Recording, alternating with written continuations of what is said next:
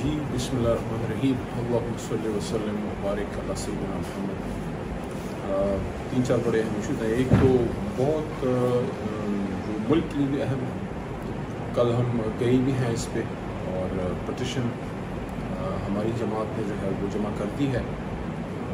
Supreme court of Pakistan में हम नैब amendments के ख़िलाफ़ हम चले गए हैं। और बिल्कुल किसी भी सूरत में ना ही मुल्क के लिए बेहतर है और ना हमारे जो इंसाफ का निज़ाम है, इंसाफ का निज़ाम है, उसके लिए बेहतर है। अगर तो नैब में कोई अमेंडमेंट्स ऐसी मौजूदा हुकूमत ने करनी थी, जो कि इम्पोर्टेड हुकूमत है, जिससे वो नैब के निज़ाम में बेहतरी लाना चाहते थे तो उसका तो तरीक़ाकार ये था कि कम अज़ कम एटलीस्ट अगर कौमी इसम्बली में इस वक्त अपोजिशन नहीं है तो सनत में तो है, वहाँ उसको लेके आ जाते और उस पर तफसली गुफ्तु होनी चाहिए थी। स्टैंडिंग कमेटी और लॉ वहाँ मौजूद है। लेकिन जिस उजलत में इसको किया गया हालाँकि दो बार सदर ममलिकत ने इसको रिजेक्ट किया है। आ, ये जो नैब अमेंडमेंट्स उन्होंने की हैं जिसको मैं नैब पर ख़ुद कुछ हमला कहता हूँ कि अगर ये लॉ रह गए हमने तो हमारी इंशाल्लाह जब अल्लाह के हुक्म से हुकूमत आएगी हम तो इसको रिवर्स कराएँगे और वापस सूरत हाल को वही बहाल करेंगे और बेहतरी के साथ लेके आएँगे। कि अगर जिन चीज़ों पे आज की हुकूमत कहती है कि नैब में सुकम थे, लोगों को गैर ज़रूरी तौर पे जो है वो कस्टडी में रखा जाता था नबे नबे दिन, या पॉलिटिकल जो लोगों की एफिलिएशंस हैं, वो चेंज करने के लिए नैब को यूज़ किया जाता था। तो जो सुकम है, वो आप दूर कर दें। ये तो ऐसे ही है जैसे किसी अस्पताल में कोई दवाइयाँ कम हैं, या वहाँ किसी वार्ड में इक्विपमेंट्स की कमी है यहाँ डॉक्टर्स की कमी है या कोई और इशू है उसमें फॉर एग्ज़ाम्पल कोरोना के दौर में आपको याद होगा, बहुत ज़्यादा वेंटिलेटर्स की शॉर्टेज का इशू आ गया था। तो अगर किसी अस्पताल में ये सुकम, ये कमियाँ मौजूद हैं तो क्या उसका हल ये है कि वो सुकम और वो कमियाँ निकाल ली जाएँ, दवाइयाँ दे दी जाएँ डॉक्टर्स प्रोवाइड कर दिए जाएँ और इक्विपमेंट में जो कमी है, वो पूरा किया जाए या उस अस्पताल को ही ताला लगा दें? ये तो इन्होंने ऐसा किया है कि एहतसाब के निज़ाम को तो ताला लगा दिया है कि तीन, चार, पाँच तो उसमें ऐसे ऐसे इन्होंने अमेंडमेंट्स की हैं जिसमें तफसीली मैं बात कर भी चुका हूँ, लेकिन इसको मुस्तकिल उन्होंने करते रहना है कि एक तो वाइट कलर क्राइम्स की इन्होंने बुनियाद ही उल्टी कर दी है कि ये तो कोई आम फौजदारी मुकदमा नहीं है जो सौ परसेंट रियासत ने प्रूव करना है। ये तो मेरे भाई वाइट कॉलर क्राइम्स हैं जिसमें रियासत ने या हुकूमत ने ये सिर्फ़ प्रूव करना होता है। कि एक प्रॉपर्टी या एक एसेट या कोई मूवेबल या इमूवेबल जो एसेट्स होते हैं, वो आपके हैं। वो साबित कर दे कि आपके हैं। उसके बाद आपने उसका मनी ट्रेल देना है। आपने उसकी ओरिजिनलिटी के उसके डॉक्यूमेंट्स वगैरह जो है, वो तो आपने देने होते हैं। फॉर एग्ज़ाम्पल किसी शख्स के पास एक गाड़ी है। हुकूमत ने सिर्फ़ ये साबित करना है कि गाड़ी उसके पास है और उसके कब्ज़े में है। फिर उसके ओनर ने साबित करना है कि गाड़ी उसके पास अगर है तो उसके कागज़ उसके पास है। जेनुननेस उसने ओनर ने साबित करनी होती है। जेनुननेस तो कभी भी रियासत साबित नहीं करती। तो ये जो money trade white collar crimes में अगर किसी के पचास, साठ, सत्तर करोड़ के दो, तीन अरब रुपए के असासे निकल आते हैं तो हुकूमत ने तो सिर्फ़ ये साबित करना है कि ये आपके हैं। उसके बाद तो उस शख्स ने बताना है कि उसने कहाँ से लिए, कैसे लिए। अगर तो इसको हमने इस कानून को ख़त्म कर दिया, जो कि उन्होंने कर दिया तो ये तो फ्री फॉर ऑल है, यानी कि एसेट बियॉन्ड मीन्स के केसेस का तो ख़त्म। वो तो कोई भी सरकारी मुलाजम या जो सियासतदान है या कोई भी सरकारी मुलाजम है या आम आदमी है, जिसके पास पब्लिक ऑफ़िस रहा है या नहीं भी रहा, आम शख्स है और उसके पास असासे ऐसे हैं जो कि उसके नॉन इनकम से बहुत ज़्यादा हैं तो वो तो उसको आज के बाद बिल्कुल खुली छूट है। आप करप्शन करें ब्लैक मनी लेके आएँ मनी लॉन्ड्रिंग करें, जिधर से पैसे आप कमाते हैं, कमाएँ, हर तरह से कमाएँ, कोई मसला नहीं, आपको कोई पूछेगा नहीं, रियासत नहीं साबित करना है कि ब्लैक मनी है। रियासत कैसे साबित करे भाई? एक आदमी ने यहाँ कोई गलत काम किया है, उसके पैसे उसने लंदन में या स्विट्ज़रलैंड में या अमेरिका में या किसी और जगह पे उसने स्कैंडिनेविया में ले लिए हैं। अब हुकूमत तो नहीं साबित कर सकती। ये तो अब उस शख्स ने बताना है कि उसने जो पैसे बाहर लिए हैं वो उसने किसमें लिए हैं? बल्कि इन्होंने तो ये भी शायद उसमें जो है वो सेक्शन रिज़ाइन में भी नहीं चेंज कर दी है। कि जो फ़ॉरन का आपका है एविडेंस वो एक्सेप्टेबल ही नहीं है? तो अगर फ़ॉरन का एविडेंस यहाँ आप एक्सेप्टेबल नहीं है तो इसका मतलब है कि जो ऑफ़ शोर अकाउंट्स हैं, या जो ओवरसीज़ आपके अकाउंट्स हैं, जो स्विस अकाउंट्स हैं, जिसके भी हैं, या और किसी मुल्क में हैं सो अब आप उसके जवाब दे नहीं, कि पाकिस्तानी होते हुए, यहाँ किसी अहम अहदे पे होते हुए, यहाँ से आप यहाँ रहे, आपने बाहर कोई बिज़नेस नहीं किया, यहाँ आपने कारोबार स्टार्ट किया या बिज़नेस स्टार्ट किया, बाहर आपके बे सासे बन गए, उसके आप जवाब दे नहीं हैं। बड़ी अजीब सी बात है। फिर सबसे इसमें एक बड़ी इंपॉर्टेंट चीज़ है कि उसको आपने नैब अमेंडमेंट्स को आपने इस तरीके से कर दिया है कि वो इदारा, जो नैब का एहतसाब का इदारा है, आमतौर पर एहतसाब किसका होता है?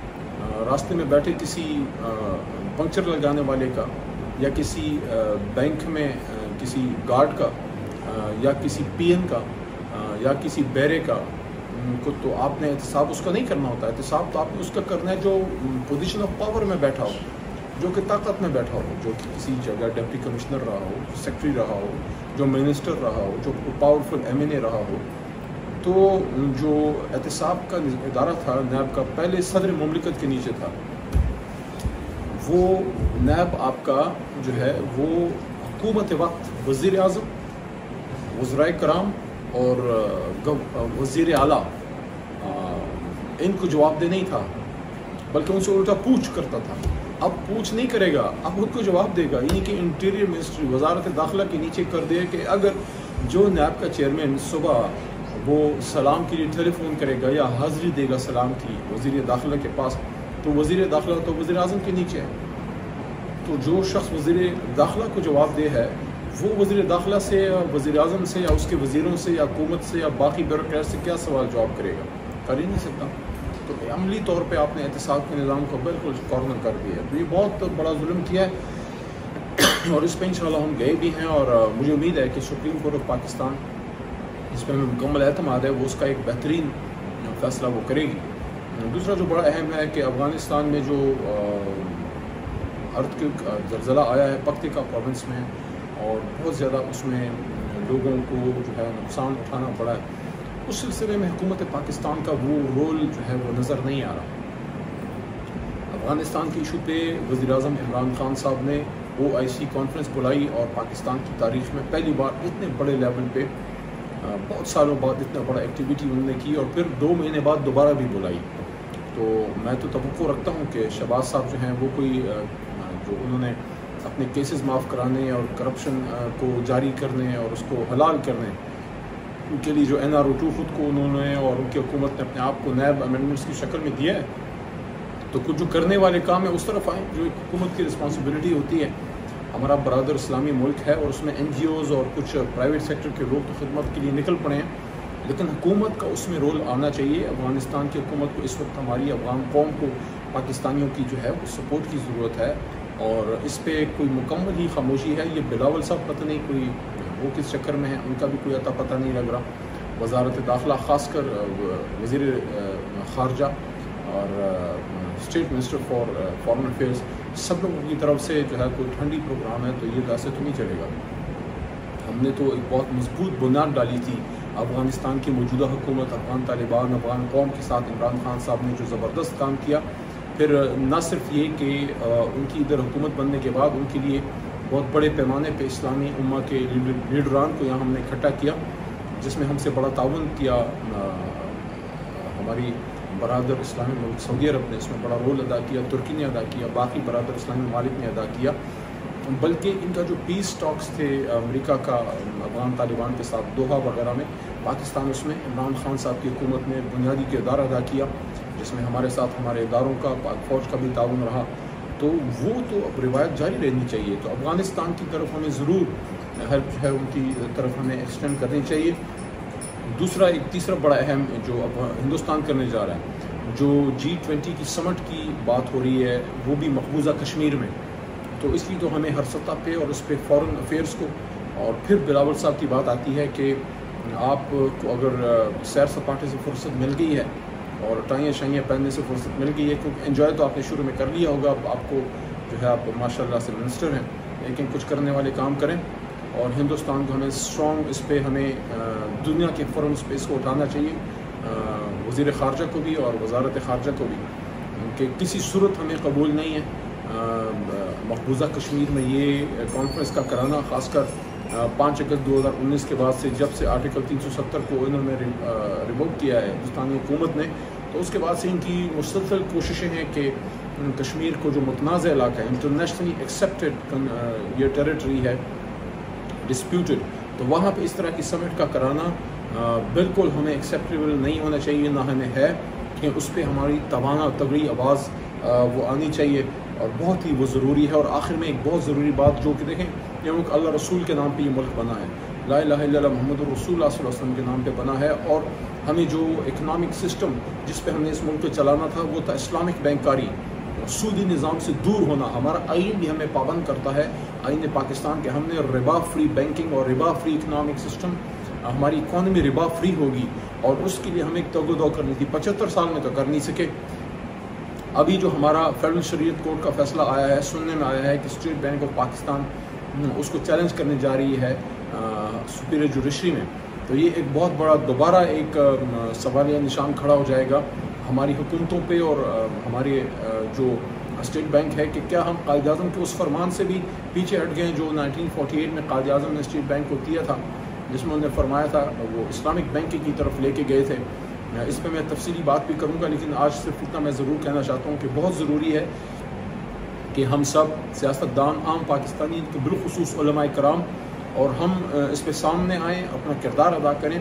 फेडरल शरीय कोर्ट तो अपना किरदार बार बार अदा कर रही है, लेकिन हुकूमतें बार बार उसको चैलेंज करने की तरफ़ लेके जा रही हैं। मुझे आइडिया है, मुझे अंदाज़ा है कि फौरी तौर पर हम अचानक बेहद जुम्बश कदम, सब कुछ ख़त्म करके इस्लामिक पैंकारी की तरफ़ नहीं आ सकते, लेकिन उसके लिए एक रोड मैप तो हम दें। बजाय इसके कि उनकी तरफ़ से फैसला आए और हम रिबा के हक़ में जो है वहाँ उसको चैलेंज करने के सूद के ख़िलाफ़ फेडरल शरीत को फैसला देती है और हुकूमतें जाके उसको चैलेंज कर देती हैं।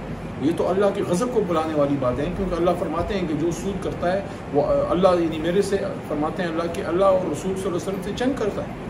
तो जब हम अल्लाह रसूल से खुदा न खास्ता जंग करेंगे तो कैसे अल्लाह की मदद आएगी?